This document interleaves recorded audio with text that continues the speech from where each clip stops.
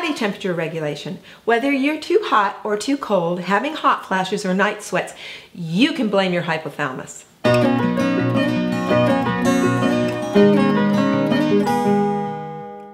Your hypothalamus is the master gland in the center of your brain that regulates your body temperature. Your hypothalamus controls how hot or cold you are through your autonomic nervous system, which is the part of your nervous system that is not under your conscious control. You can't control it. When you're overheated, your hypothalamus tells your autonomic nervous system to reduce blood flow to your internal organs and increase flow to your skin. Then your hypothalamus tells your sweat glands to cool you down by pulling fluid from your bloodstream and making you sweat. Your sweat glands are like a pressure release for heat. Airflow on your sweaty skin helps cool you down. Then, because you've lost some fluid, your hypothalamus triggers your thirst to get you to drink some liquids. Your hypothalamus is always trying to maintain homeostasis, which is your body's unique balance, to help you stay well and survive. What if you're always cold? Well, your thyroid produces hormones that control how fast you burn energy.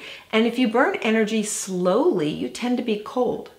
But it's still your hypothalamus that controls your thyroid and helps warm you up if you get really chilled by triggering your autonomic nervous system to make you shiver. Shivering helps warm your skin and stimulates energy production. That's how Norwegian ice bathing helps rev up your metabolism. What about hot flashes and night sweats? Both are the fault of your hypothalamus. It's out of balance. To help get your hypothalamus in balance naturally, make sure to download your free hormone reboot training. Your hypothalamus is super sensitive to your sex hormones, especially estrogen levels in women and testosterone levels in men.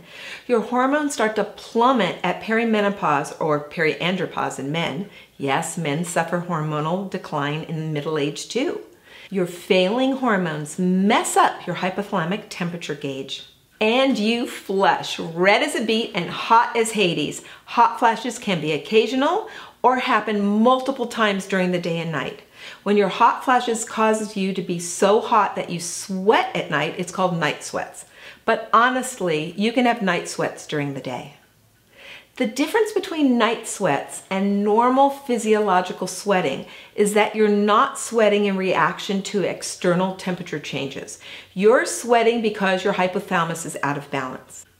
Check out my video it's not a hot flash, it's a power surge for my best tips on beating hot flashes and night sweats.